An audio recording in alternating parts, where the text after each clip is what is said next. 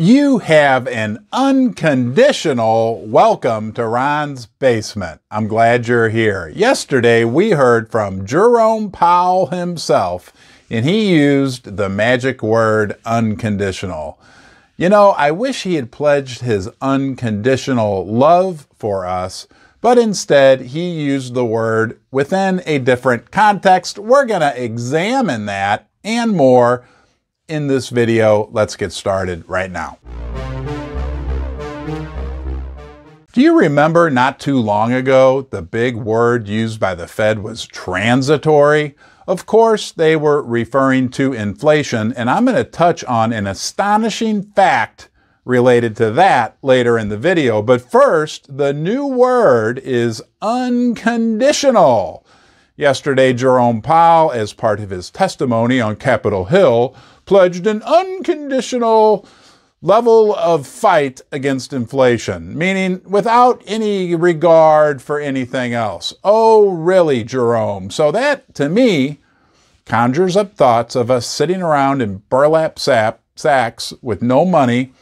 Sure, there'll be no inflation because nobody will have any money to buy anything. Is that what you're going to do, Jerome? Crash the economy?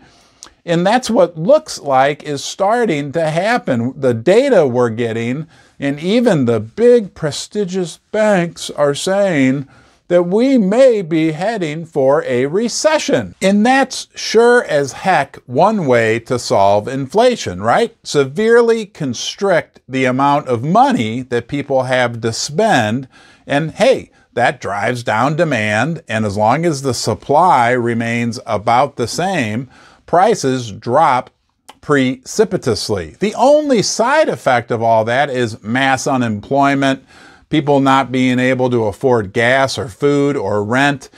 Look, that's not going to happen. And what is going to happen is this either Powell is going to pivot, or what I think most likely will happen is Powell will get fired and Lael Brainard will come in to save the day easy money on the way. And that's good for the price of gold and silver. And we can look at just one simple example to see how this high interest rate policy can severely constrict the amount of money that people have and are willing to spend. While the high interest rate policies have not yet fed through to the housing market, don't worry, that is coming. They have affected the stock market. The S&P 500 down 20%. But here's the astonishing fact that I promised you, something you may not have thought of. Not only are people down 20% on the S&P 500, they're also down another 5 or 6% through these first 6 months because of inflation. You're down 20 and then what you do have left is worth 5 an additional 5% less because its buying power has been eroded by inflation.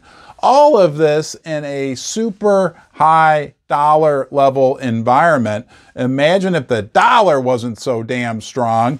Precious metals would be higher, but the price of everything would have inflated even more.